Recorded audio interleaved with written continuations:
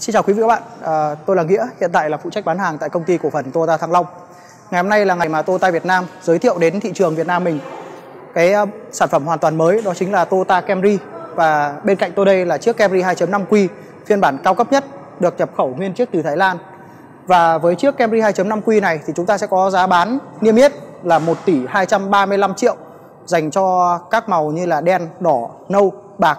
Và đặc biệt với cái màu trắng ngọc trai này thì chúng ta sẽ có giá cao hơn một chút, khoảng 8 triệu đồng, tức là 1 tỷ 243 triệu cho phiên bản 2.5Q màu trắng này. Và với cái việc mà lược bỏ đi phiên bản 2.5G tại thị trường Việt Nam, thì hiện tại Toyota Việt Nam chỉ cung cấp hai phiên bản duy nhất, đó chính là 2.5Q và 2.0G chúng ta sẽ tìm hiểu đôi chút về chiếc Camry 2.5Q phiên bản cao cấp này có gì đặc biệt?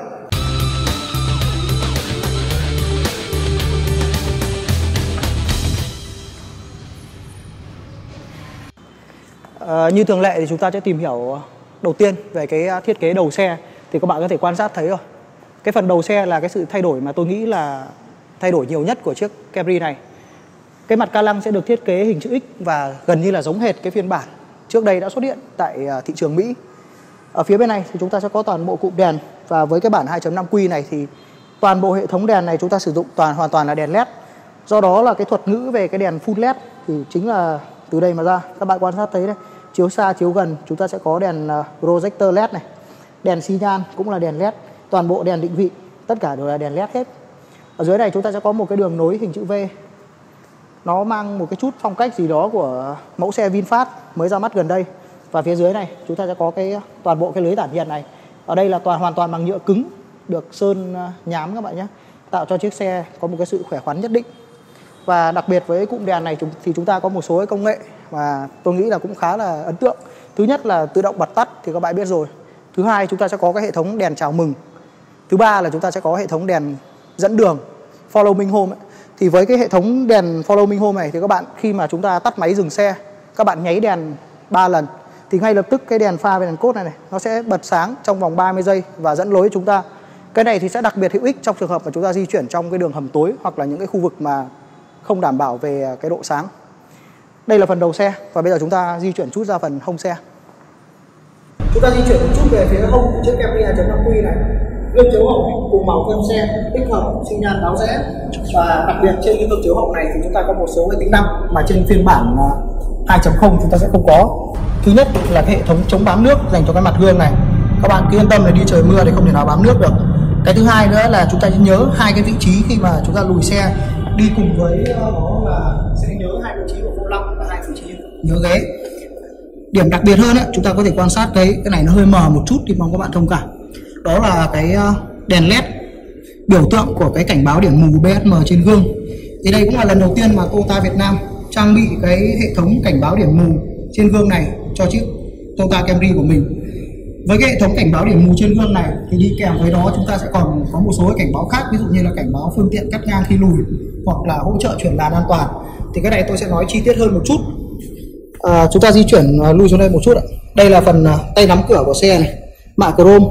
Vẫn để cái vị trí à, lỗ chìa khóa cơ này. Có thể một số bạn thì sẽ cho là nó không được đảm bảo tính thẩm mỹ. Tuy nhiên thì cái này sẽ cực kỳ quan trọng trong trường hợp mà chúng ta sử dụng xe từ 2 đến 3 năm. Cái chìa khóa chúng ta hết pin thì đây là cách duy nhất để chúng ta có thể mở cửa dễ dàng. Ở đây chúng ta sẽ có một cái cảm biến nhỏ để trong trong trường hợp chúng ta sử dụng cái hệ thống mở cửa thông minh.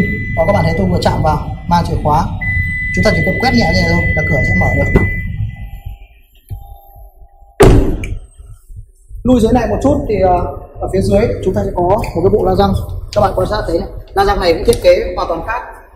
Nó khác biệt hoàn toàn so với bản 2.5 quy trước đây các bạn nhé la răng đa chấu này ờ, không phải dạng nhôm phay cắt đâu. Tuy nhiên là ra la răng đúc. Và cái ờ, mẫu 2.5 quy này thì sẽ sử dụng cái la răng 18 inch. Trong khi đó thì mẫu 2.0 g, chúng ta sẽ sử dụng cái la răng 17 inch điểm mà tôi thấy ấn tượng nhất ở cái phần hông xe của chiếc Camry này đó chính là hai cái đường dập nổi này. Vuốt dài suốt từ đầu xe cho đến tận dưới phía dưới hông xe. Và đặc biệt là cái cục cái uh, cột góc phía dưới này chúng ta được sơn đen hoàn toàn. Cái điều này thì nó tạo cho chiếc Camry 2.5 quy một cái sự khỏe khoắn và đặc biệt là chúng ta cảm giác như chiếc xe là vẫn đang di chuyển ngay cả khi mà nó đứng yên. Một cái ấn tượng rất là tốt khi mà chúng ta nhìn từ bên hông ok bây giờ chúng ta lui xuống phía dưới. Tuấn quay để cùng đèn hậu. Đây là phần cụm đèn hậu của xe này. Thì cũng giống như cái cụm đèn từ phía trước thôi. Chúng ta sẽ sử dụng hoàn toàn đấy là giải đèn led. Và đặc biệt là cái cụm đèn này các bạn nhìn nó vuốt này. Rất là dài. Một cái cảm giác thanh thoát và mang nhiều cái nét thiết kế đến từ Lexus người đàn anh của Toyota tại Việt Nam. Ở dưới này chúng ta có cái uh, xi nhan này đèn báo phanh. Tất cả các vị trí này chúng ta sẽ có cảm biến hỗ trợ đỗ xe bao gồm hai cảm biến góc và hai cảm biến lùi. Đây là phiên bản cao cấp nhất do đó là chúng ta sẽ có đầy đủ tất cả camera lùi cũng như là cốp mở điện. 2.5 Q thì có một điều khác biệt hơn chút nữa đó là chúng ta sẽ có cái cục ống xả đôi đây. Rất tiếc là cái vị trí showroom nó hơi nhỏ nên là các bạn không thể quan sát hết được. Thì ờ, uh, tôi sẽ có một cái góc khác để cho các bạn quan sát hơn. Chúng ta mở một chút về cái cốp xe này xem nó có rộng không. À, ok bây giờ tôi mở thử cái cốp ra nhé là đây sau khi mình tốt đây thì cái điều đáng tiếc nhất của chiếc Camry 2.5 Q này, tôi nghĩ đó là với một mẫu xe như này thì đáng nhất Toyota Việt Nam chúng ta nên cân đối về cái việc mà bổ sung một cái tính năng. Rất nhiều khách hàng ưa thích, đó chính là cái đá cốp này này. Hiện tại là chiếc Camry này vẫn chưa có, nhưng chúng ta có thể hoàn toàn trang bị thêm một bộ sản phẩm tích hợp đến từ Toyota Việt Nam luôn. Và đây là tổng thể cái cốp, sau khi mà tôi đã mở lên. Đây, các bạn quan sát thấy dưới cái tấm chắn này chúng ta sẽ có toàn bộ hệ thống kích lốp dự phòng dụng cụ sửa chữa. Một điểm rất là thú vị của chiếc Camry này đó chính là Toyota Việt Nam cũng đã cơ cấu lại cái thiết kế của cái hốc trong cốp này giúp chúng ta để được nhiều cái đồ cồng kềnh hơn. Tổng thể của bên ngoài chiếc xe thì các bạn cũng đã quan sát rồi. Và bây giờ thì à, chúng ta sẽ vào trong bên trong nội thất để xem chiếc xe này có những sự thay đổi đột phá như thế nào. À, tôi đang có mặt trong à, nội thất của chiếc Camry 2.5 Q phiên bản cao cấp nhất và lần này thì tôi nghĩ là Toyota Việt Nam cũng đã chiều lòng khách hàng hơn khi mang đến cho chúng ta đến hai sự tùy chọn về màu sắc nội thất. Ở đây các bạn có thể quan sát thấy là chúng ta đang có cái nội thất màu à, đen. Trong khi đó thì đối với cả hai phiên bản 2.0 và 2.5 chúng ta còn có thêm một sự lựa chọn màu sắc nữa, đó chính là cái màu kem sáng. Thì tôi sẽ gửi đến quý vị và các bạn một cái video clip đánh giá về cái nội thất xe màu kem sáng để chúng ta có cái nhìn toàn cảnh hơn, so sánh dễ hơn về hai cái màu nội thất này. Bây giờ tôi sẽ đi tổng thể một chút về cái nội thất của chiếc xe điểm đầu tiên, đó chính là các bạn quan sát thấy này, toàn bộ những cái bảng táp lô này, tất cả chúng ta đều hoàn toàn bằng da hết, rất là mềm, da xịn các bạn nhá. Ở dưới này cũng là da này. Và hoàn toàn những chi tiết này, tất cả đều bằng gỗ. Những cái chi tiết nhỏ hơn như là cửa gió điều hòa này, những cái viền này, chúng ta đều được mạ bạc hoặc là mạ chrome. Rất là dễ điều khiển, sang trọng. Phía chính giữa này chúng ta có một cái màn hình, thì tôi sẽ khởi động cái màn hình này lên, để cho các bạn thấy là nó đẹp như thế nào logo của Toyota, chào mừng. Ở đây toàn bộ những nút này đều là giả cảm ứng các bạn nhé tất cả đều là giả cảm ứng thôi. Màn hình này thì à, 8 inch, đi kèm với một cái bộ loa 9 loa JBL cực kỳ cao cấp và mang lại một cái âm thanh gọi là như ở nhà luôn, như dạp hát tại gia. Phía dưới này chúng ta sẽ có cái à, toàn bộ cái hộc cái cụm tí tay này cũng được thiết kế mới, hoàn toàn khác lạ cần số được đẩy lên sát với vị trí của người lái. Dưới này chúng ta sẽ có những cái tùy chọn về chế độ lái như là Eco, Normal, Sport và đặc biệt cuối cùng thì cái phanh tay điện tử này các bạn thấy nó cũng đã xuất hiện trên Toyota Camry. Camry tại Việt Nam cuối cùng đã được trang bị phanh tay điện tử. Học tì tay này bằng da thiết kế mới này rất là êm và đặc biệt là cực kỳ to gần bằng một cái thớt luôn ngoài cái phanh tay điện tử này ra, thì điểm tôi ấn tượng tiếp theo về chiếc Camry 2.5Q này và chỉ bản 2.5Q mới có, đó chính là chúng ta sẽ được trang bị luôn cả cửa sổ trời. Thì đây đây chính là cái cửa sổ trời của chúng ta. Sau khi kéo này lên, sau khi tôi kéo này lên, chúng ta sẽ có một cái cửa sổ trời hiện ra trước mắt này. Và hoàn toàn điều chỉnh điện tại đây. Đó, ở đây chúng ta sẽ có tất cả cửa sổ trời. Và cuối cùng thì Toyota cũng đã phải trang bị trên những cái mẫu xe của mình. Tuy nhiên thì chỉ bản 2.5 Q này chúng ta mới có cửa sổ trời. Còn bản 2.0 thì chúng ta vẫn chưa được trang bị cửa sổ trời. Các bạn nhé. Ok, chúng ta tìm hiểu đôi chút về cái à, phía vị trí người lái này Để xem nó có cái gì à, đặc trưng à Chúng ta nhìn thấy đây. Đầu tiên là cái à, táp ly này. Tất cả cũng bằng da hết. Khâu rất là tỉ mỉ, Đường kim mũi chỉ sắc nét. Ở đây chúng ta sẽ có phần, tôi nghĩ là nhựa. Không phải là gỗ đâu ạ. Bằng nhựa. Hai vị trí, nhớ vị trí ghế lái này. Cái vị trí ghế lái này thì sẽ tích hợp luôn cả nhớ vị trí của vô lăng cùng với đó là nhớ cái mặt gương chiếu hậu khi mà lùi xe. Dưới này chúng ta sẽ có cái ờ, điều chỉnh gương điện và cụp gương tự động đều bằng điện hết. Bốn cửa kính đều là auto, tức là cửa chống kẹt đó, khóa trung tâm và khóa kính. Di chuyển một chút sang bên này, thì chúng ta sẽ có mấy cái phím chức năng như sau. Thứ nhất là các bạn nhìn thấy đây là biểu tượng của cái xe mà đang lắc lắc ấy. đây chính là cái phím để chúng ta bật tắt cái tính năng cân bằng điện tử cũng như là kiểm soát lực kéo. Ở đây mở cốp sau và đổ xăng. Đây cũng là một cái nét thiết kế mới ở trên cái mẫu Camry này. Khi mà trước đây ấy, thì Toyota người ta không trang bị hai cái phím này tại vị trí đâu mà thường ấy là trang bị tại cái vị trí dưới gót chân tôi đây này. Trước đây là toàn trang bị tại vị trí này thôi. Đó và bây giờ thì chúng ta để đến đây. Dĩ nhiên ở vị trí này chúng ta bao giờ dễ thao tác hơn phía dưới này chúng ta sẽ có cái mở nắp capo. Đó đây là vị trí để mở nắp capo này. Các bạn có thấy cái thiết kế này nó nó hợp lý hơn trước không ạ? Tôi nghĩ là có lẽ chúng ta nên thay đổi từ vị trí này đầu tiên. Và đây cũng là cái mà Toyota Việt Nam đã cải thiện rồi. Tiếp theo nữa này. Đây là cái vị trí ghế ngồi của tôi. Thì uh, sau khi lên xe thì tôi quan sát thấy là cái trọng tâm của ghế này có vẻ thấp hơn. Ghế thì vẫn được điều chỉnh điện thôi. 12 hướng và bên phụ chúng ta sẽ điều khiển 10 hướng. Cái vị trí ghế điều chỉnh này thì tôi nói thật sự là tôi cũng không được ờ, quá ấn tượng nó không thích lắm đâu. Nó vẫn mang cái phong cách cũ mặc dù là cũng dễ sử dụng thôi. Tuy nhiên là khi chúng ta đóng cửa lại ấy mà nếu mà đeo đồng hồ xịn thì mọi chuyện nó không dễ dàng như thế này nữa rón rén hơn trước rất nhiều. Nếu mà có thể được thì tôi hy vọng là Toyota sẽ cân đối để chuyển cái vị trí điều chỉnh ghế này lên cái chỗ khu vực táp ly cửa đây. Đấy, nếu được chuyển lên khu vực táp ly này thì sẽ dễ hơn tại vì khi đó chúng ta sẽ thuận tiện điều khiển hơn và tại vị trí này thì nó sẽ giống như những cái mẫu xe sang. Đối thủ chính đó chính là mẹc ấy. thì hầu hết người ta đều trang bị trên đó. Đây là cái phần vô lăng của xe. Vô lăng của xe thì bản 2.5 quy này, chúng ta được tích hợp đầy đủ tất cả các nút bấm. Bấm này, các bạn thấy. Mà tôi có cảm giác là cái vô lăng này nó nhỏ hơn mẫu trước một chút, hoặc là có thể do cái thiết kế phần này nó to hơn. Vô lăng thì cầm rất là thích, da xịn, và da này được khâu tay hết. Ở bên này có các phím chức năng, bên này thì phím điều khiển âm lượng thậm chí là ra dạy lệnh bằng giọng nói, cũng như là điều khiển các cái ờ, thông số khác ở trên màn hình. Ở đây chúng ta sẽ có hai cái lẫy chuyển số trên vô lăng, mà chỉ cái phiên bản 2.5 Q mới có thôi. Bên ngoài, quay thì quay cạnh này. Lẫy chuyển số trên vô lăng này chỉ xuất hiện trên 2.5 Q thôi. Bên này chúng ta sẽ có các cái cần điều khiển liên quan đến ờ, hệ thống chiếu sáng, và bên phải như thường lệ là hệ thống ờ, gạt mưa. Chính giữa tôi là cái bảng đồng hồ trung tâm cái đồng hồ trung tâm này tôi thấy rất là đẹp này. Hai cụm đồng hồ chia rõ ràng riêng biệt. Và chúng ta sẽ có một cái màn hình TFT 7 inch luôn. Hiển thị đầy đủ tất cả các thông số liên quan. Ngoài cái việc mà trang bị màn hình này ra ấy, tôi còn có một điểm rất thích nữa đó chính là cái hệ thống màn hình hắt kính HUD trời nó hơi sáng chút nên là tôi ờ, không dễ để có thể truyền tải cho các bạn. Đây tôi sẽ ghép ảnh vào các bạn nhìn.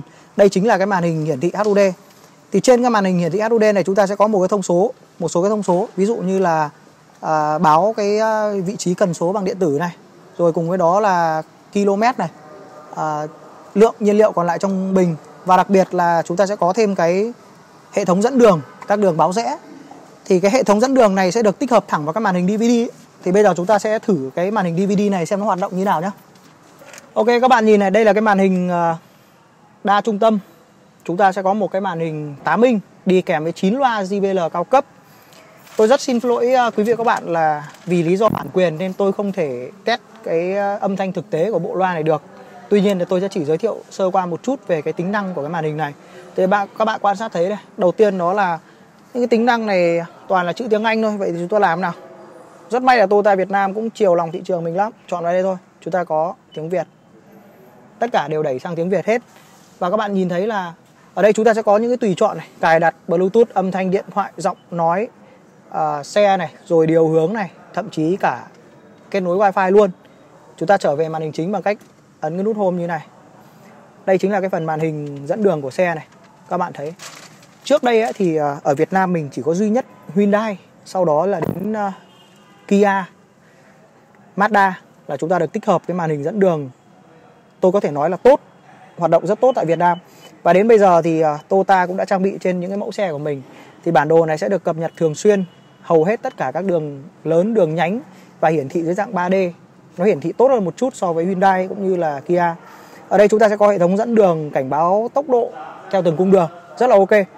Cụ thể cái màn hình này nó hiển thị như thế nào chúng ta có một cái video và tôi hứa với các bạn là tôi sẽ làm rất chi tiết về cái vấn đề màn hình dẫn đường này. Thì đây là tổng thể của cái chiếc xe Camry 2.5 Q về phần nội thất. Chúng ta sẽ ghé qua một chút cái vị trí hàng ghế thứ hai, nơi mà chúng ta sẽ có nhiều cái sự trải nghiệm hơn, vì cái những cái mẫu xe như thế này thì thường sẽ đáp ứng tốt hơn dành cho khách hàng ngồi hàng ghế thứ hai. Chúng ta sẽ cùng ra sau một chút. Tôi đang có mặt tại hàng ghế thứ hai của chiếc Camry. Và các bạn biết rồi, từ trước đến nay thì Toyota Camry vẫn được đánh giá rất cao ở cái sự thoải mái dành cho hàng ghế thứ hai, dành cho khách hàng. Và chiếc Camry này thì cũng không phải ngoại lệ. Tôi cao à, chỉ 1m70 thôi. Tuy nhiên thì nếu mà kể cả các bác có cao đến 1m85 thì tôi nghĩ là ngồi chiếc xe này cũng vẫn rất là thoải mái. Và cái hàng ghế thứ hai này thì cũng được tích hợp rất là nhiều cái công nghệ mới, nhiều cái tiện ích. Ví dụ điển hình thì các bạn thấy ở đây chúng ta sẽ có điều chỉnh cái hàng ghế trước luôn. Tại cái vị trí này chúng ta có thể điều chỉnh cái hàng ghế trước như này. Đó, rất là dễ điều chỉnh thôi và thuận tiện. Cái thứ hai nữa là chúng ta sẽ có cửa gió điều hòa, nó không mới đâu Tuy nhiên thì cái Camry 2.5Q này nó khác biệt hoàn toàn với những cái xe khác trên thị trường đó là toàn bộ cái toàn bộ khoang hàng hành khách phía sau này chúng ta được trang bị riêng một cái bộ điều hòa khác người ta gọi đấy là cái điều hòa ba vùng độc lập ấy. Thì cái toàn bộ cái không gian của hàng ghế thứ hai này chúng ta sẽ có riêng một cái phần điều hòa khác khác biệt hoàn toàn so với hàng ghế trước các bạn nhé bản 2.5 quy chúng ta chỉ có hai vùng điều hòa độc lập thôi và 3.5 này 2.5 này thì chúng ta sẽ có tới ờ, 3 vùng điều hòa độc lập. Ở dưới này là các uh, cái ổ điện rất là thuận tiện cho chúng ta trong trường hợp mà sạc. Và đặc biệt đây là những cái sạc 2.1 ampe có nghĩa là hỗ trợ sạc nhanh hỗ trợ sạc nhanh thì bây giờ đã xuất hiện hầu hết trên các ờ, điện thoại smartphone hiện tại rồi. Camry 2.5Q này thì chúng ta sẽ bỏ một cái tính năng đấy là hỗ trợ sạc không dây. Cái hỗ trợ sạc không dây thì trước đây ờ, rất là được ưa chuộng. Tuy nhiên thì cái chuẩn QI hiện tại bây giờ cũng không còn nhiều điện thoại người ta sử dụng nữa. Do đó mà Toyota đã bỏ qua cái ờ, chuẩn QI sạc không dây này. Ở đây, đây là phần mà tôi thấy thích nhất. Đó chính là một cái bảng điều khiển trung tâm dành cho hàng ghế thứ hai. Bật nguồn lên. Ở đây chúng ta sẽ có tất cả đầy đủ. Đó chính là ngả ghế này, ngả điện. Đó, ngả điện hàng ghế thứ hai này. Điều chỉnh âm lượng bài hát Rèm phía sau chỉnh điện. Và đây chúng ta sẽ điều chỉnh một cái rất quan trọng đó chính là cái nhiệt độ của hàng ghế thứ hai. Vì nó là một vùng điều hòa hoàn toàn độc lập nên là chúng ta có thể hoàn toàn điều chỉnh theo ý muốn của mình mà không phụ thuộc vào hàng ghế trên ở đây cũng rất là thuận tiện, chúng ta sẽ có thêm cái hai cái khay để cốc, bố trí rất hợp lý như này. Khi mà chúng ta ghép vào, rất là tuyệt vời. Đó chính là cái điểm khác biệt đến từ 2.5Q so với 2.0E tại vì cái bản 2.0 ấy, tại vị trí này chúng ta không có cái bảng điều khiển ở đâu, chúng ta chỉ có cái kệ tì tay này thôi. Và khi chúng ta đẩy cái kệ tì tay này lên, thì hàng ghế này thoải mái dành cho ba người, thậm chí là ba người lớn đó là tổng thể mà chúng ta vừa trải nghiệm qua một chút về cái ờ, khoang nội thất của chiếc Camry 2.5Q còn bây giờ thì tôi sẽ nói sơ qua với quý bạn về cái tính năng an toàn của mẫu xe này với giá bán là 1 tỷ 235 triệu cho 6 lựa chọn về màu sắc bao gồm hai màu đen này, màu nâu, màu bạc và đặc biệt là có thêm màu đỏ. Cùng với đó là 1 tỷ 243 triệu cho phiên bản Camry màu trắng này. Thì chúng ta sẽ có những cái tính năng an toàn. Tôi nghĩ là đạt tiêu chuẩn ờ, NCAP châu Á thì không phải bàn rồi. Đó là 7 túi khí này, cân bằng điện tử, hỗ trợ khởi hành ngang dốc, kiểm soát lực kéo, phanh ABS 4 bánh.